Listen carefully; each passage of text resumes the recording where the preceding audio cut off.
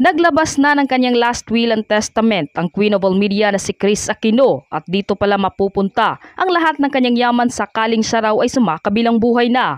Narito ang buong detalye. Ngunit bago tayo magpatuloy, huwag kalimutang i-like, share, subscribe, and click the notification bell for more updates and for more upcoming videos. Maraming salamat! Tila ibinili na ni Chris Aquino ang kanyang dalawang anak na si Bimbi at Joss sa kanyang longtime friend na si Buy Abunda.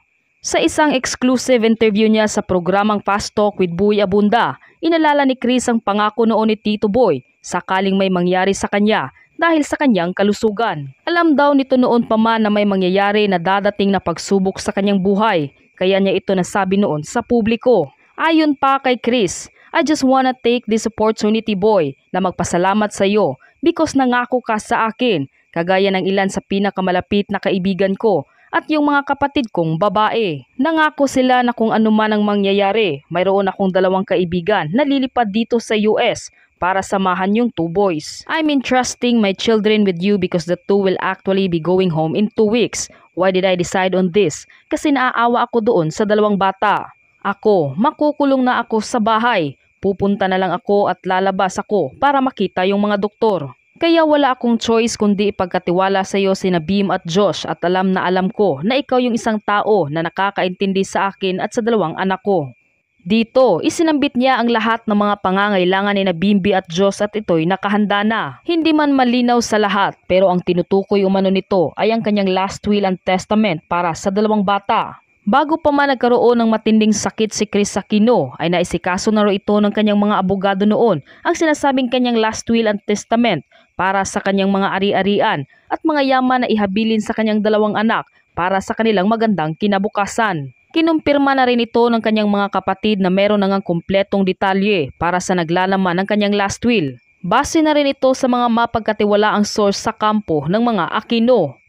Dagdag pa na maski ang kanyang pumanaw na kapatid ni si dating Pangulong Pinoy ay hinabilin rin ang kanyang lahat ng yaman at mga ari-arian sa kanyang mga pinakamamahal na pamangkin na sina Josh at Bimbi. Alam mo, pag walang makeup si Chris, talagang ano na siya, yung kumpak ang pisngi, ganyan. Buti maayos si Chris. Oo. Usually naman ay depende sa kondisyon ng katawan ni. Minsan tumataba yung pisngi niya, lumiliit yung Oo. pisngi niya. No? Eh, nanganak pa yung bilang ng autoimmune disease niya. Lima na. Oo, di ba? At ah, mukhang nga sinasabi ni Chris ay ah, malaki ang chance ang siya ay ma-cardiac arrest na umud. No? Oo. Dahil parang napapagod yata ang kanyang puso. Literal. Opo. Kasi parang ano na yun, namamaga daw yung ano, muscle sa heart. Dahil dun sa mga autoimmune tsaka dun sa mga treatment na binibigay sa kanya. Oo, eh di ba nga sinabi ko dati kay Manong Chris na ano, kasi ako eh naniniwala, lahat may paraan, di ba? At baka hindi lang naman din ang medikal na paraan para magamot si Chris, di ba? Alam mo, meron din tayong mga tinatawag na ano, yung, alam mo ng old, old school, pero andito pa rin sila, nag exist pa rin. Yung faith healing, Tsaka mga alternative medicine. o mga alternative medicine. Alam niyo, sa totoo lang, no, ang daming nag, ah, ano, nag, may message sa akin paano daw makakarating kay Chris yung kanilang mensahe na gusto siyang gamitin, gusto siyang ah, idaan sa herbal uh, channeling, di ba? Alternative medicine, at saka yung mga faith healing na na gusto nila isagawa kay Chris. Yan lahat ay sa totoo lang nakarating kay Chris. Oo. Pero ang paniniwala ni Chris ay talagang doon lang sa taas. Hindi siya pwedeng kumawala doon sa kanyang pananalig kay Lord. Kung ano man ang ah, gusto ni Lord na mangyari para sa kanya, ay yun ang mangyayari. Eh kuya, Oh. paano kung sa'yo nangyari yun? Ay Lord, syempre, knock on wood, ano, naman sana, di ba? Ah, kung sa akin yan mangyayari, kung sakasakali, na huwag naman ipahintulot ni Lord. Ano. Gagawa ako ng paraan. Gagawa ako ng paraan, kung hindi man yung ano, yung medical na paraan, eh yung alternative. O, pwedeng faith healing, pwedeng mga herbal-herbal, di ba? Kasi merong mga tao no na alam nilang ah, kahit kakikimo kakikimo daw nila eh feeling nila doon din ang ending nila. Hmm. Oo. Kaya yun, nilalabanan nila in what way? Naghahanap sila, naghahagilap sila ng paraan para baka malay mo, eh, magkaroon ng magic, ng himala, di ba, na sila'y gagaling sa pamamagitan ng alternative healing or medicine, di ba? Or through faith healer. Oo. Ako gagawin ko eh, siyempre gusto mong gumaling, siyempre gusto mong humaba ang buhay mo, siyempre gusto mong makasama pa yung mga anak mo hanggang kaapu-apuhan mo, hindi ba? Lahat gagawin mo. Kaya nga, di ba, meron ng isang interview sa isang fake, fake healer. Hmm? Mm-mm. Fake? Fake healer. Sabi niya, nung nag-interview, bakit ka nang gagamot? Eh, fake healer ka. Sabi niya. Ah, may mga gumagaling naman po eh. Ah, may mga gumagaling pero fake ka? Paano yun? Hindi ko po sila napapagaling. Napapagaling po sila ng fake nila. Yung pananampalataya nila na sila'y gagaling. Kaya po sila gumagaling. Na kunwari, yung isang fake healer, eh, tatas siya. O, ikaw mismo, feeling mo gagaling ka kaagad. Malakas ang paniniwala mo na gagaling ka. Oo.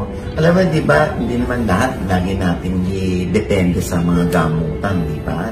O sa powerful uh, prayers, yung mga prayer warriors natin, kailangan gawa rin tayo ng alternative. Kung ako to ha, hindi lahat sa doktor.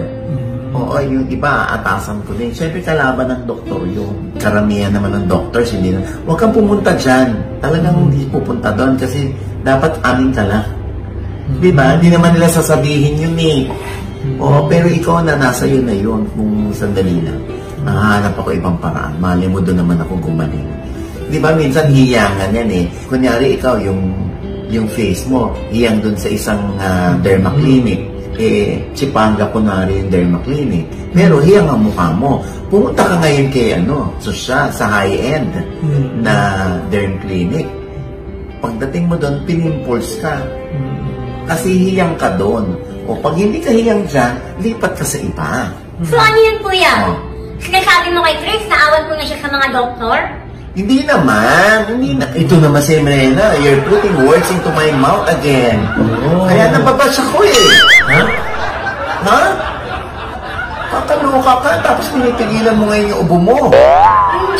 Oh, mamaya yan, plematil na naman. Kakaloka. Yan ang sinasabi ko eh. Anyway, ah, sa akin lang naman yan. Ang alam ko lang talaga, sa ngayon, kung ano ang nagpapalakas kay ah, Chris para lalo pang lumaban na madugtungan ng kanyang buhay ay ang kanyang mga anak. Mm. At saka na mabalik lang ako sa sinasabi ko kanina ng mga alternative na mga healers or forms of uh, medication. Kasi marami naman tayo, I'm sure marami mga nanonood sa atin na meron kang kakilala na at some point na experience yung gumaling Oo. sila dahil sa mga non-medical practitioners talaga na professional, di ba? Na nung dati hindi sila naniniwala, tapos biglang dun sila gumaling, di ba? Di ba? Oo. Eh ako nga, di ba? Yung dalawang anak ko, dinala ko nga yun kay tatay mabango. Oo. Doon din pupunta si Ma'am Charo eh. Mm. Saka si Ma'am Malu Santos. Oh. Minsan kasi nakukuba yung mga anak ko. Mm. Ganyan. Tapos, biglang tinignan ni tatay. Parang ano, may pasan-pasan sila. Ay, Aalisin natin yan ngayon. Malis kayo, malis kayo. Alam ko kung ano na yung mga ano nila. ah, talaga. Oo. Kasi lagi daw nandun, nakaabang yung mga duwende ba yun or something sa hagdan. Pag dumarating yung mga anak ko galing school, Sumasampa sa sumasampa sa likod nila. Kaya mabigat na kaganon sila. Kaya nung pinapunta ko doon, inalis-alis yung ano, ay ang, ta ang taray. Dumiretso agad. Oo. No, So, ibig sabihin, wala na silang nakaangkas dito. Oo, ganon. Eh, kahit naman ako, may mga hula din sa akin. Mm. Oo, talagang kumuha ng half glass na water. Mm. Tapos yung nandoon, pam! Mm.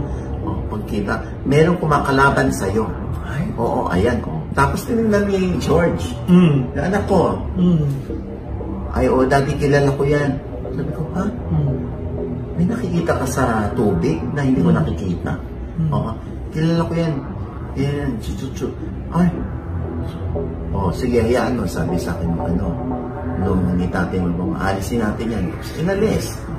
Oo, huwag nang babalikan si Ochi, ah. Mga ganyan. Tapos, pinatanggal ko yung third eye ni George. Ay. Oo. Mm. Kaloka, di ba? Para wala na siya masyadong napapansin. Ang dami nga niya napapansin maliit siya. Ah, talaga. Oo, pinatanggal ko yun. Para, ano, alam mo naman ang interpretasyon ng iba dyan. Oo. Di ba pag may third eye, ba't kanina ka pa nakatahimik ka dyan? Eh kasi kuya, parang may nakasakay dun sa likod ko eh. Ha? Parang kamukha mo rin. Oo nga, ano?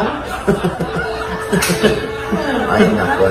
Anyway, kanya-kanya naman tayo ng paniniwala at pananampalataya. So, ah, ibigay na natin yan kay Chris at lalo pa natin paigtingin ang ating pagdarasal para ah, sa lalo ikagagaling ni Chris. Yes. Maring Chris, I love you at happy, happy birthday. Happy birthday. Hindi ito ang huling birthday mo. okay? Amen.